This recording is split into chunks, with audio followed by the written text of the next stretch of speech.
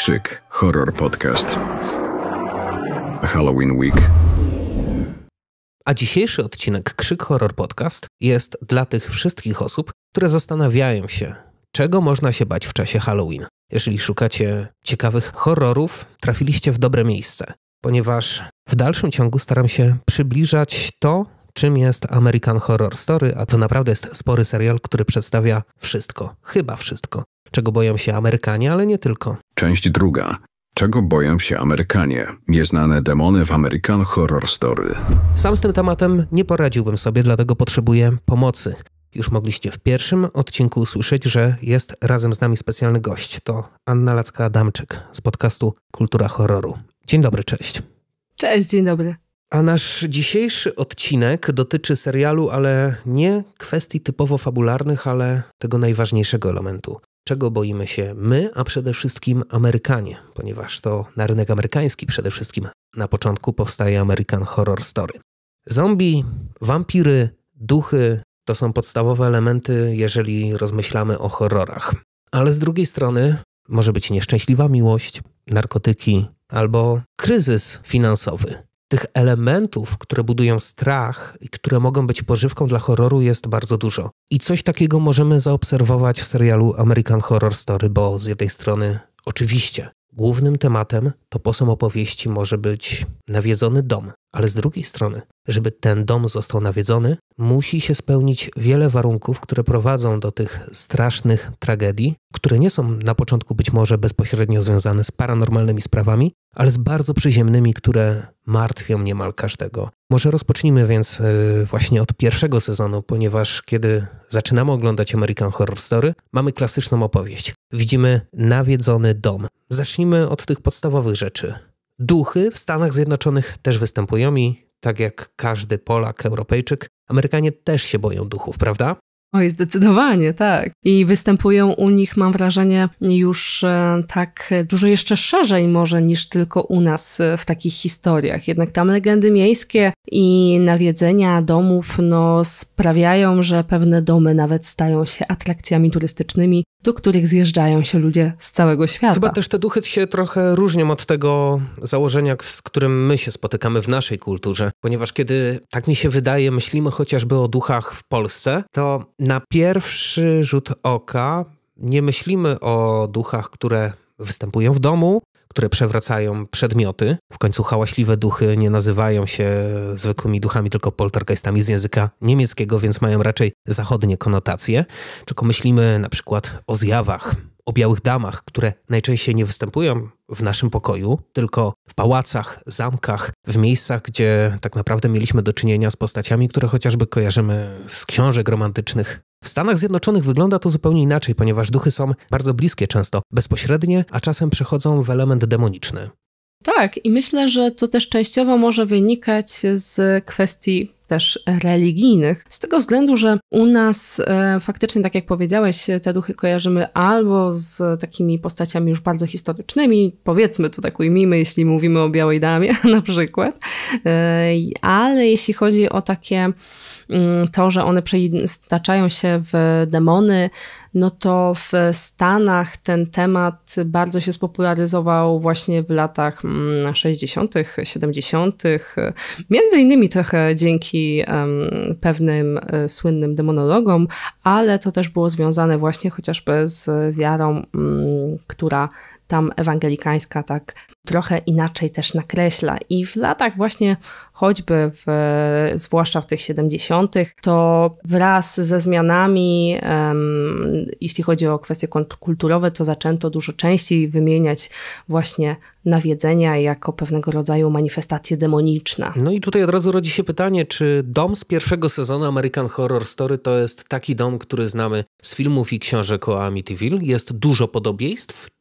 Jeśli chodzi o takie podobieństwo, które pierwsze może się też rzucać, jeśli spojrzymy na ten sezon tak e, całościowo, no to choćby temat przewijający się um, kwestii ekonomicznych, który również występował w Amityville i stał się takim tematem trochę podważającym pewne wydarzenia w tamtym domu, a z pewnością budował też napięcie i mógł wedle niektórych wywołać też elementy nawiedzenia. To jest bardzo ciekawa sprawa, którą przybliżasz, ponieważ w kwestii duchów demonów potencjalnych, które pojawiają się w pierwszym sezonie American Horror Story, przedstawiamy wątek, który na pierwszy rzut oka nie wydaje się zbyt ciekawy, interesujący dla fanów horroru.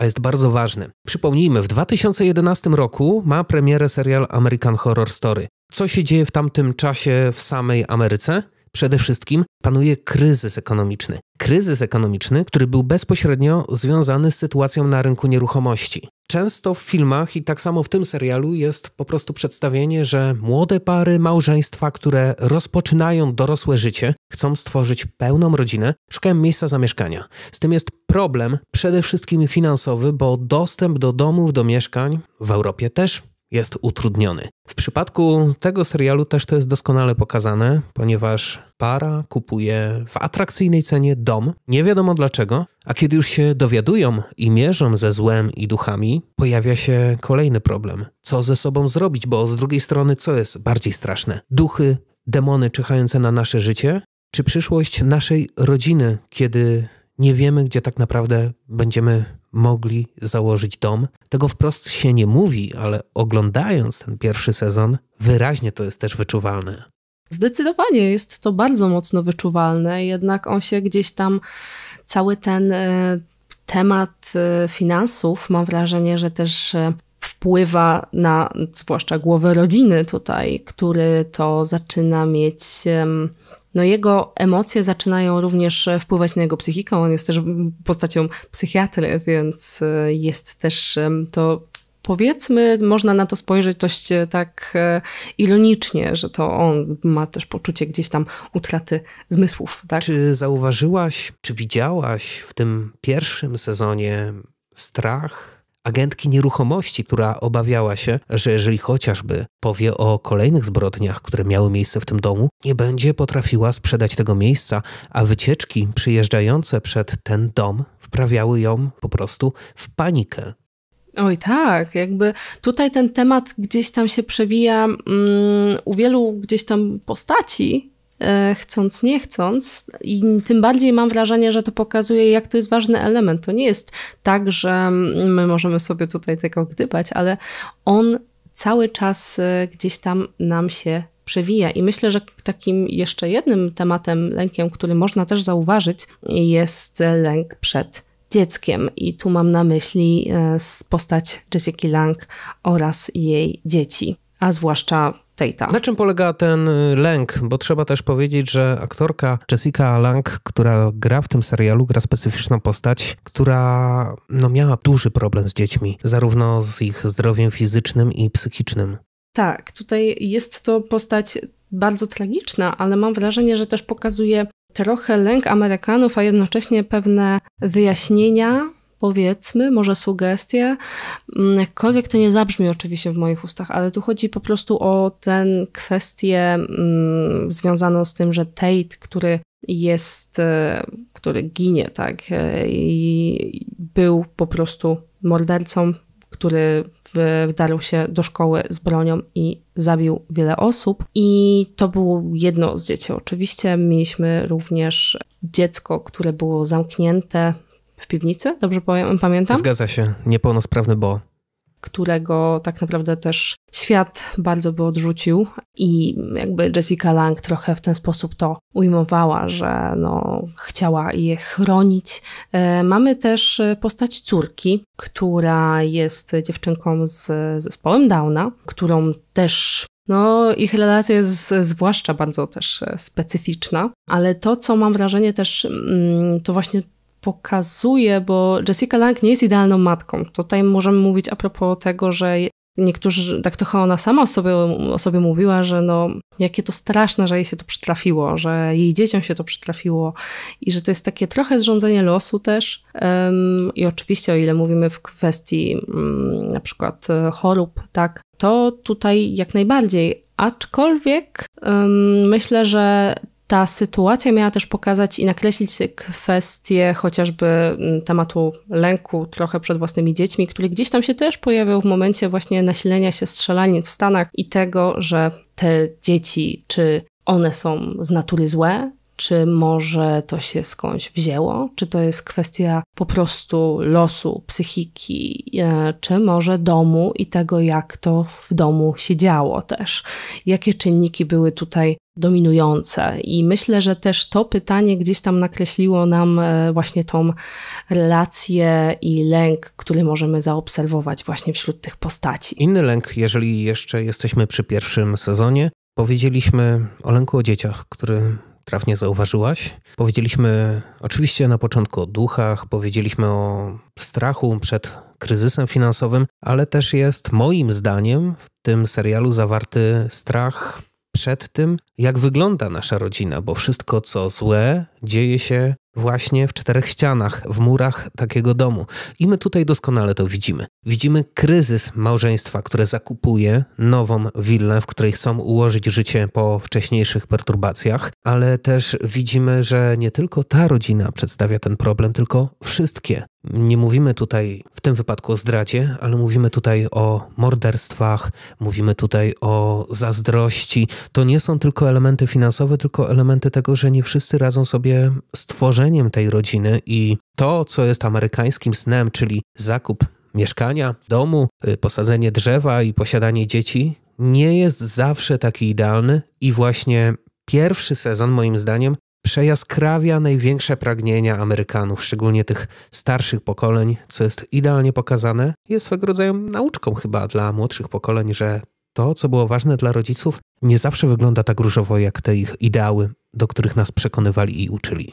Można powiedzieć, że American Horror Story burzy American Dream, który gdzieś tam um, był kultywowany przez wiele, wiele lat, ale też mam wrażenie, że ten serial w ogóle, ten sezon właściwie pokazuje, że ten amerykański sen już po prostu się nie sprawdzał. To jest chociażby w tematach ekonomicznych, tak, mm, ról gdzieś tam, e, z, które były, tak, bo na przykład o ile dobrze pamiętam, tak mi możesz teraz przypomnieć, ale Vivien nie była mm, pracująca. Nie, nie, nie.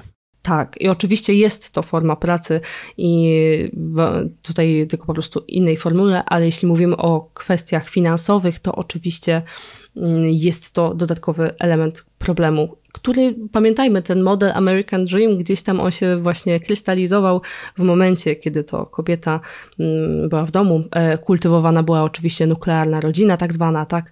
E, więc to wszystko, co tak naprawdę czym Ameryka żyła wiele lat wcześniej, właśnie tak jak wspomniałeś, rodzice, i uważało się, że to jest właśnie ten piękny sen, który mm, jest idealny. Tak naprawdę on się nie sprawdzał. Nie sprawdzał się mm, dla wielu osób już wtedy, ale w aktualnych warunkach wręcz był toksyczny i niemożliwy. Przejdźmy w takim wypadku do drugiego sezonu i tutaj od razu mam do ciebie pytanie, czy diabeł ma coś wspólnego z szaleństwem, bo w zasadzie na tym opiera się największy strach, który jest prezentowany w drugim sezonie American Horror Story. Strach przed szaleństwem, ale też strach przed złem, paranormalnym złem. Tak, no chcąc, nie chcąc, myślę, że też e, to jest temat e, może, hmm, jakby to powiedzieć, żeby nie zabrzmiało to źle, jest mi bliski, ale w tym kontekście, że jestem osobą, która cierpi na epilepsję, która często była wiązana z opętaniem przez szatana i również była właśnie, no cóż, bardzo mm, klasyfikowana bardzo brutalny sposób właśnie przez e, taki pryzmat.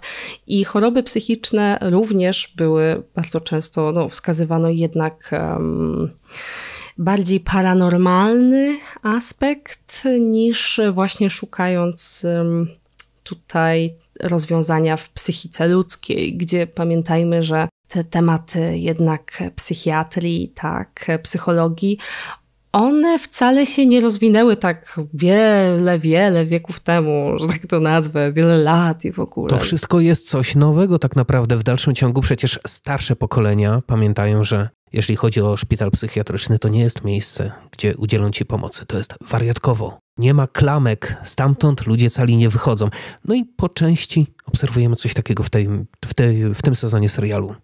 Mamy tutaj zarysowany właśnie bardzo, no chcąc nie chcąc, wcale niekoniecznie tak bardzo odległy obraz od tych szpitali psychiatrycznych, e, nie tylko w Stanach, no ale już tutaj skupmy się na Stanach, tak, gdzie one były po prostu miejscami często już, w którym się zostawało i albo się nie wychodziło z niego w ogóle, a z pewnością niezdrowym. Tutaj myślę, tak mogłabym wspomnieć e, a propos postaci, która nam bardzo dobrze to powiedzmy przedstawia, czyli Nellie Bly. Nellie Bly była mm, dziennikarką, która wcieliła się w, a właściwie udawała, że będzie szalona, by móc trafić do szpitala Blackwood i tak też się stało. I tutaj mamy postać, która była bezpośrednio inspiracją i grają Sarah Paulson. I jest to bardzo dramatycznie przedstawione, ale niestety czytając sobie o postaci Nelly Bly i warunkach, z, jakie opisała w swoim reportażu dla Policera, no to niestety nie są one wcale tak odległe. No i z drugiej strony tutaj również jest przedstawiony wątek opętania. To jest ważny element, ponieważ y, tak naprawdę zarówno w Stanach Zjednoczonych, jak i w tamtych czasach w Europie, czy też w Polsce, bardzo ważny element w życiu społecznym odgrywała religia. Już nie musimy się skupiać dokładnie, czy to był katolicyzm, czy inne odłamy religii chrześcijańskich i bardzo często poruszano problem opętań, który był skorelowany m.in. z chorobami psychicznymi. Doskonale możecie to wiedzieć, słuchając chociażby wcześniejszych odcinków Krzyk Horror Podcast, które nagrywałem z Mikołajem Kołyszko dotyczącymi opętań Analizę Michel. Więc tylko pokrótce powiem, że jest specjalna jednostka chorobowa, która zalicza opętania, ale nie takie opętania, o których większość osób myśli, że demon nawiedza daną postać, tylko w kwestii zachowania psychicznego. I ten serial doskonale pokazuje to, jak to było jeszcze kilkadziesiąt lat temu odbierane. Każdy problem ze zdrowiem psychicznym musiał być związany z elementem nadprzyrodzonym i widzieliśmy tutaj chociażby interwencję diabła i szatana. No i tutaj właściwie możemy gdzieś zaobserwować, jest to tutaj nam przedstawione dosyć e, trochę no, nie wiem, czy można właśnie tak ująć, e, czy jest to w jakiś sposób na domysłach, czy to faktycznie jest szatan, no bo chcąc, nie chcąc, już później pod postacią jednak naszej siostry mm, zakonnej, która jest e, zdecydowanie postacią opętaną, aczkolwiek jej opętanie też wygląda w zupełnie inny, zupełnie inny sposób. Jeżeli chodzi o drugi sezon, to również warto zwrócić uwagę na strach przed historią. Szczególnie ważny dla osób urodzonych w czasie II wojny światowej, przed wojną, II wojną światową, dla których trauma związana z tym potężnym konfliktem była naprawdę bardzo duża. I jest przedstawiony w tym serialu, ponieważ mamy jednostkę naukową, bo jednak jaki ten szpital był, to była jednostka naukowa, gdzie trwały badania. Mamy tam głównego doktora, który stara się rozwijać wiedzę, niezbędną wiedzę, ale nie zachowuje chyba do końca przysięgi Hipokratesa. Stosuje zasady obozowe, okazuje się, że nieprzypadkowo, ponieważ był związany z systemem totalitarnym, z systemem nazistowskim.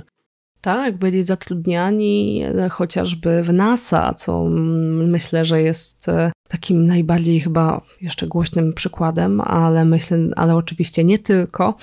No, jest to temat e, takiego rozliczania się też, myślę, w kwestii, w kwestii takiej, że te osoby po prostu w Stanach zyskiwały azyl. Zyskiwały azyl i mogły w dalszym ciągu prowadzić teoretycznie wszelkiego rodzaju prace, eksperymenty i to potrafiło budzić lęk. Lęk też w pewnym momencie zaczęło budzić to, co pojawiało się na niebie. I tutaj również w tym sezonie zostało to przedstawione. Lęk dotyczący kosmitów, oczywiście. To jest podstawa wielu horrorów, wielu seriali. O tym raczej aż tak bardzo mocno nie musimy mówić. No ale z drugiej strony tu jest chyba pokazany w drugim sezonie, moim zdaniem, nie wiem czy się ze mną zgodzisz, lęk przed tym, co widzimy, co czujemy. No bo tak to trzeba odbierać, kiedy obserwujemy statek kosmiczny, dziwną postać. To tutaj pokazuje nam się, ja tak to odbieram, że z góry jesteśmy kwalifikowani jako osoba, która odstaje od norm społecznych i w zasadzie kwalifikuje się zarówno do osób, które mają schizofrenię albo są opętane.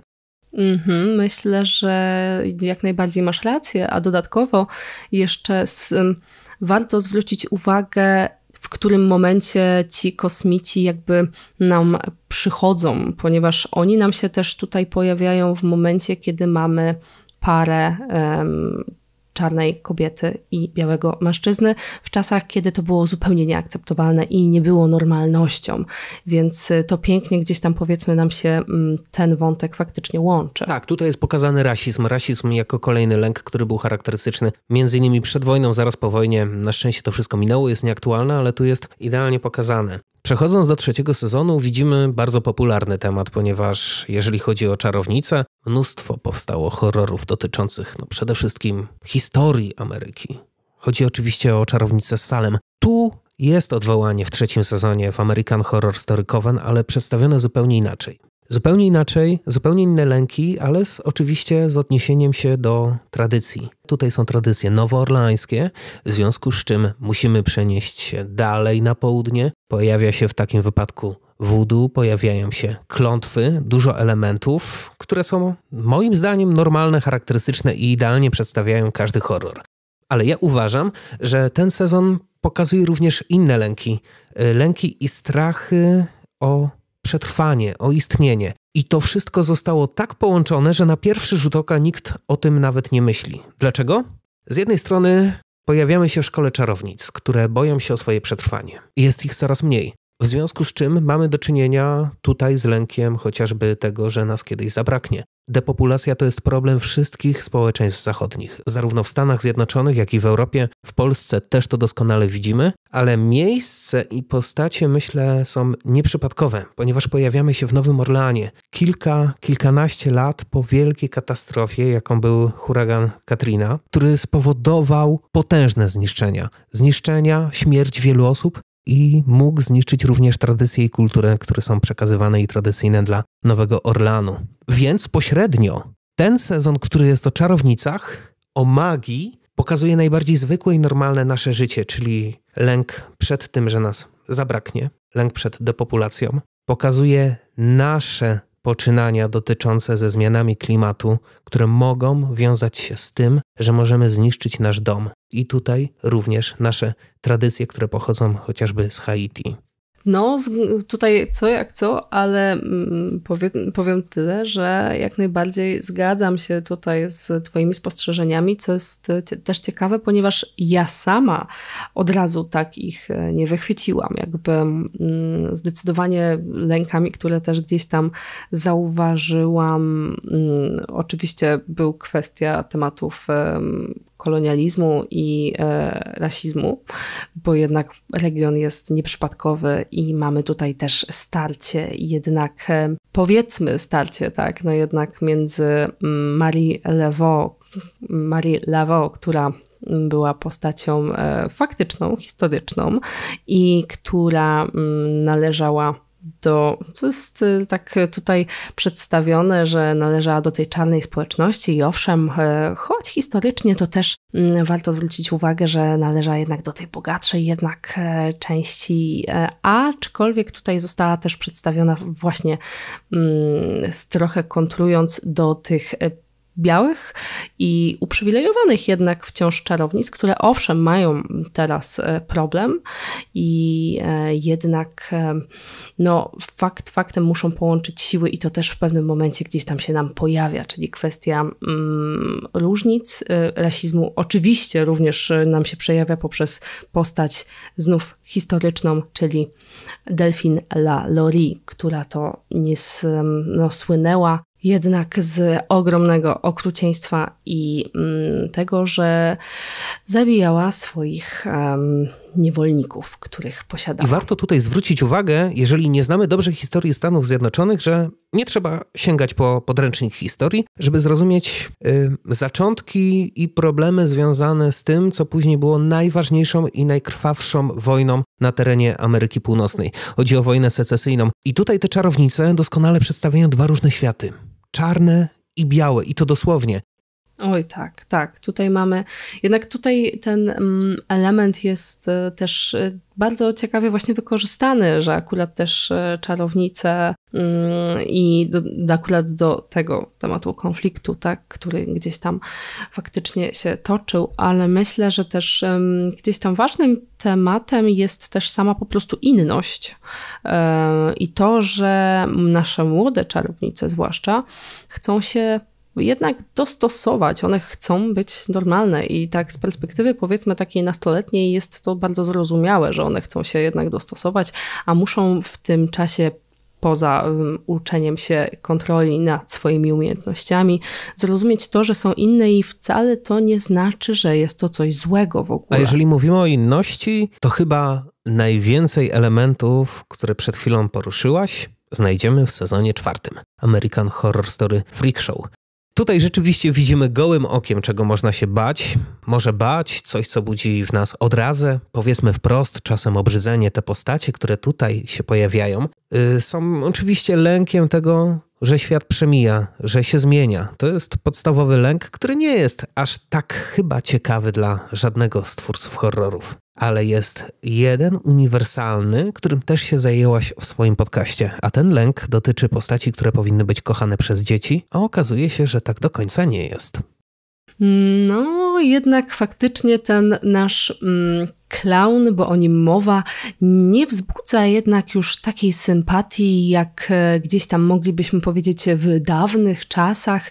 Te czasy zdecydowanie przeminęły i klauny kojarzone są już raczej z samą grozą. I widzimy to na komercyjnym rynku, bo przecież jeżeli mówimy o klaunach, to wiele osób jeszcze może kojarzyć to z maskotką Rona McDonalda, nie bez powodu, ponieważ zostało to faktycznie mm, około roku 2018, o ile się nie mylę, zmienione i już w ogóle nie powinniśmy zobaczyć klauna w sieci mm, pod złotymi łukami. I to też wynikało akurat z mm, sytuacji, która się działa e, ciut wcześniej, nie tak daleko, ale faktycznie gdzieś tam można to zaobserwować, że ten Clown, tak jak wspomniałeś, mamy tutaj temat e, tego przemijania tych e, zmian, to tutaj również ten clown jest jak najbardziej takim elementem, który bardzo ładnie nam to przedstawia, jednak przedefiniowanie tej postaci i przeciągnięcie ją jednak na stronę horroru. A ten clown z American Horror Story, ten dziwoląg, czy to jest fantazja, czy jednak poruszanie się odniesienie się do czegoś, co było rzeczywiście szeroko komentowane w Stanach Zjednoczonych przez opinię publiczną.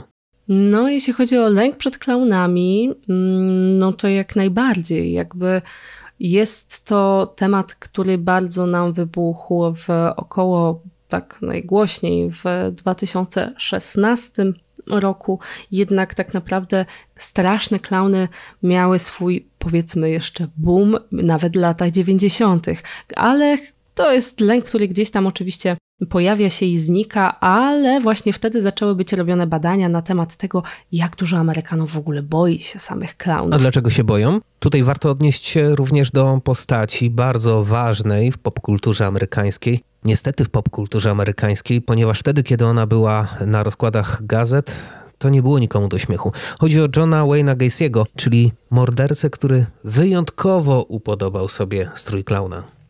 Tak, i chcąc, nie chcąc, ta postać, tak jak wspomniałeś, wyryła tutaj mm, pewnego rodzaju znamie na tych e, klaunach, choć no one musiały dopiero wrócić, jeśli chodzi o samą grozę, no bo jak on się pojawił, tak e, mowa tutaj oczywiście o Gacing, kiedy, kiedy jego zbrodnie wypłynęły na światło dzienne, to od razu ten clown nie został zaklasyfikowany jako coś potwornego, ale zdecydowanie już mieliśmy tutaj tendencję spadkową, jeśli chodzi o pozytywne postrzeganie tego klauna. A jeżeli chodzi o kolejny temat, który jest poruszany, przedstawiany jako strach typowy dla mieszkańców Ameryki, to muszę odnieść się do nas bezpośrednio. Ty, Aniu, boisz się nocować poza domem? Hotele przyprawiają cię o szybsze bicie serca? No, na pewno nie czuję się komfortowo, kiedy mam gdzieś e, nocować e, tak nawet na kilka nocy i przyznaję, że delegacje i hotele hmm, nie są e, os takim moim wymarzonym e, weekendem. Oczywiście mówimy tutaj o American Horror Story Hotel. Dużo tu jest elementów poruszonych. Mamy i wątek wampirzy, można by tak rzec, więc odhaczamy sobie wampiry też, tego boją się Amerykanie. Moim zdaniem tu jest też poruszony inny ciekawy wątek więzienia. W zasadzie hotel może być więzieniem, pokazaniem strachu naszym przed odejściem, przed śmiercią, przed tym, że możemy zostać w jakimś miejscu pośrednim. Czy to będzie nawiedzony dom, czy w tym wypadku większy obiekt, może się okazać, że nasza dusza nie zazna spokoju, co również może być ciekawym wątkiem, który jest często poruszany przez horrory. Tak, tutaj jednak chcąc, nie chcąc, mamy mm, ten motyw e, jednak, gdzie wiele postaci mm, jest zamkniętych w jednej przestrzeni. No, oczywiście nie bez powodu, ale mm, te więzienie jest takim, no, jest wręcz po prostu piekłem. I to jest chyba takim, oczywiście takim definiowanym przez same, same duchy, tak? Z drugiej strony wygląda jak złota klatka. O tak, zdecydowanie jest to hotel na bogato i też trochę nie bez powodu, ponieważ inspirowany był hotelem Cecil, który już dziś oczywiście mm, no, nie jest pięknym miejscem i jest zdecydowanie raczej miejscem, którego się unika na mapach Los Angeles, ze względu też na to, że dzielnica już nie jest też tak e, ekskluzywna jak wtedy, kiedy powstawał i jego czasy świetności są daleko już dawno za nim, ale niegdyś był też takim punktem bardzo mm, no, usytuowanym w samym centrum, bardzo wyjątkowym.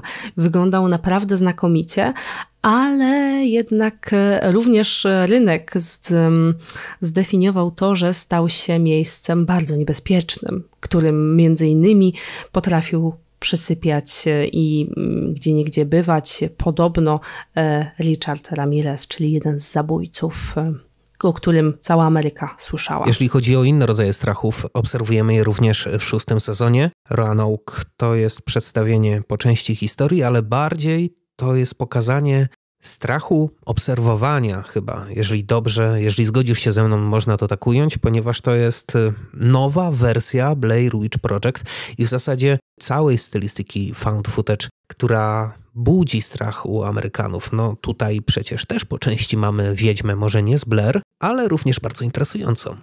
Mhm, oj tak. I jednocześnie ten taki e, lęk przed byciem obserwowanym, ale jest jeszcze taka forma wojeryzmu, gdzie jednak e, no, pokazuje nam tutaj przez reality show, które jest e, było zwłaszcza kiedyś bardzo popularne w Stanach Zjednoczonych mm, i wciąż gdzieś tam jest, biorąc pod uwagę, że potrafią mm, wciąż istnieć takie seriale jak Kardashianowie, gdzie ludzie naprawdę wciąż jednak muszą to chętnie oglądać, skoro tak długo już się to utrzymuje. Ale jest taka dosyć ciekawa tutaj korelacja między tym, że się boimy być obserwowani, a właściwie Amerykanie boją się być obserwowani, ale jednocześnie nie mogą przestać patrzeć. Tak, faktycznie to jest taki element, który przyciąga i tutaj możemy również postrzegać strach no, przed telewizją, telewizją, która doszczętnie zmieniła społeczeństwa zachodnie. Widzimy to doskonale na takim przykładzie, ale ja chciałbym przejść do innych y, również strachów, które prezentują Amerykanie, ale nie tylko. Ważny wątek, trochę historyczny. Wydaje się, że powinniśmy to mieć już za sobą. W końcu zimna wojna już za nami, a zima atomowa jak często się mówiło, czy też po prostu apokalipsa związana z wojną nuklearną. Kto wie, może faktycznie znów jest zagrożeniem i idealnie podchwytuje ten temat również ósmy sezon American Horror Story. Oczywiście to jest podstawowy lęk, lęk przed końcem świata, rzecz, która towarzyszy nam w zasadzie od początku cywilizacji. Widzimy to chociażby po Biblii, ale nie tylko. Czy to jest jedyny strach? Który jest przedstawiony w tym sezonie, albo inaczej, czy to jest dobry w dalszym ciągu pomysł, wątek, pokarm dla twórców horroru? Myślę, że nie jest tu jedynym takim wątkiem, z tego względu też, że tu znów mam wrażenie, że przejawia nam się e, lęk, a właściwie mm, pragnienie przetrwania, tak jak mieliśmy przy Kowenie, aczkolwiek zupełnie inaczej jest ujęty.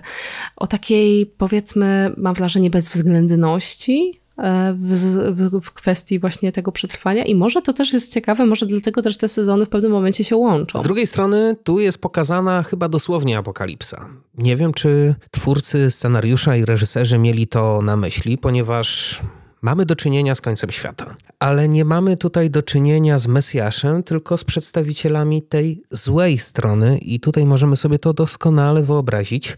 Nie musimy widzieć jeźdźców apokalipsy, ponieważ też widzimy, jak my zachowamy się pod koniec naszych czasów, i z drugiej strony dobre siły, siły religijne, chrześcijańskie, katolickie, Zastępuje tutaj wątek inny paranormalny, który no, ma się nijak jak do nomenklatury biblijnej, bo widzimy tutaj czarownicę i magię.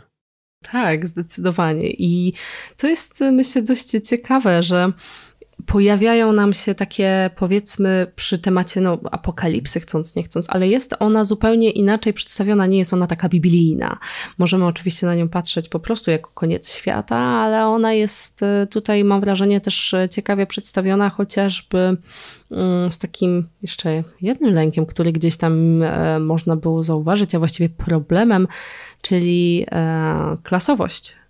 Na takiej zasadzie, że jesteśmy poniekąd w świecie, gdzie powiedzmy, nie jesteśmy, nie powinniśmy już być tak dzieleni, ale tak naprawdę kto znajduje się tam, bo to są oczywiście, tak jak wspomniałeś, osoby zdecydowanie niekoniecznie dobre, ale są to też przede wszystkim osoby, które mogły sobie na to pozwolić. Na pewno doskonale obserwujesz i sprawdzasz kolejny strach Amerykanów. Nie wiem, czy można go odnieść do jednoznacznie do jednego narzędzia, ale raczej nie. Ale kiedy myślę o tym gatunku, to widzę nóż. Myślę tutaj o slasherach, myślę tutaj o produkcjach z lat 80. I żeby zaspokoić ten rodzaj strachu, American Horror Story również przygotował jeden sezon 1984. No i tutaj krwi nie brakuje. Oj nie, tutaj krwi nie zabraknie, leje się momentami wręcz hektolitrami i mamy tutaj dość ciekawą zabawę e, z samym slasherem, a właściwie to gdyby tak na niego spojrzeć, to to jest też ważne, że to nie jest do końca slasher, ale post-slasher, bo sama formuła tego sezonu bawi się konwencją, trochę momentami prześmiewczo, przerysowuje pewne elementy, e, ale no tak jak e, tutaj można zwrócić uwagę, no dalej pomimo tej mm, silnego elementu popkulturowego, no to wciąż lęki społeczne są tu ukryte. Ale co to dokładnie jest za lęk? Skąd się slasher pojawia w amerykańskiej popkulturze? Czy to strach przed y, społeczeństwem, przed osobami, które nie są w pełni zintegrowane, które być może nam zazdroszczą, które czyhają na nasze szczęście, zdrowie? Wyjaśnimy przede wszystkim, jakie są początki slasherów, bo co jak co, ale Anna z kultury horroru zna się na tym doskonale.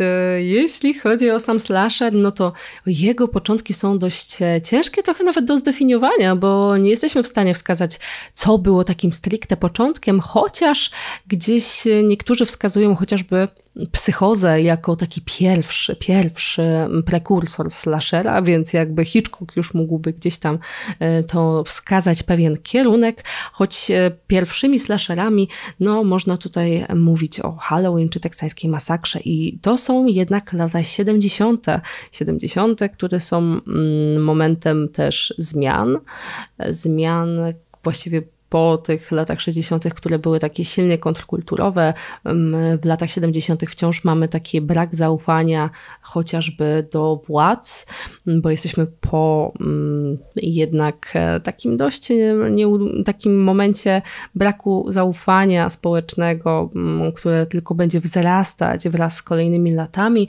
I gdzieś tam w slasherach można to zauważyć, że Mm, brak zaufania może być reprezentowany chociażby poprzez dorosłych, którzy najczęściej są po prostu bezużyteczni, albo w, pod postacią policjantów, którzy również są zazwyczaj po prostu niepotrzebni i nie są w stanie tak naprawdę nic zdziałać y, z tym, że młodzi będą po prostu umierać jedni po drugich. Z Twojej perspektywy, więc w związku z tym, co powiedziałaś, czy zgodziłabyś się z taką teorią, że slashery, szczególnie te klasyczne, yy, są dziełem dla wszystkich konserwatywnych, prawicowych mieszkańców Ameryki Północnej.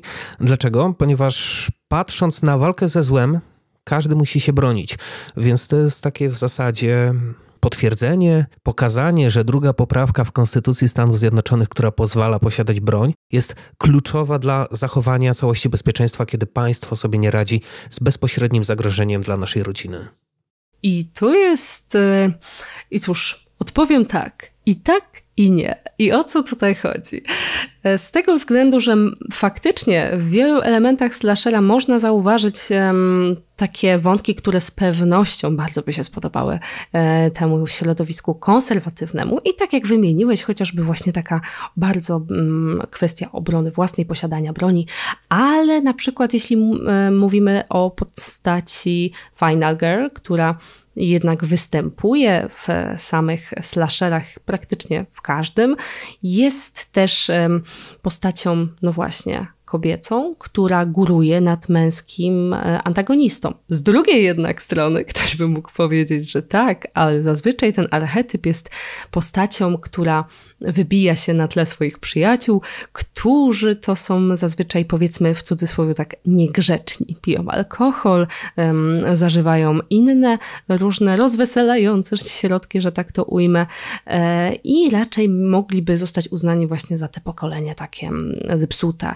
Kiedy ona jest dziewicą, niepijącą, e, będącą po prostu grzeczną dziewczynką, ale często, gdy się tak przyjrzeć prawdziwym slasherom, mm, to jest to jednak taki dosyć mocny stereotyp, i w wielu slasherach nie do końca tak to wygląda, chociażby właśnie w Piątku 13, gdzie mamy postać, mm, faktycznie bohaterka jest y, i tam zapali, i tam się napije.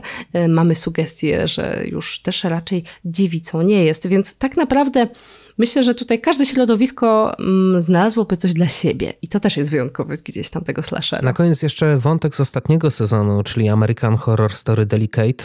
Wątek bardzo nowy, aktualny, który na pewno będzie wielokrotnie poruszany nie tylko w horrorach, ale i w całej popkulturze dotyczący demonicznej ciąży, aborcji. Ciężko tutaj dokładnie zweryfikować to, bo sam sezon skupia się bardzo blisko chociażby na tym, co widzieliśmy w dziecku Rozmery.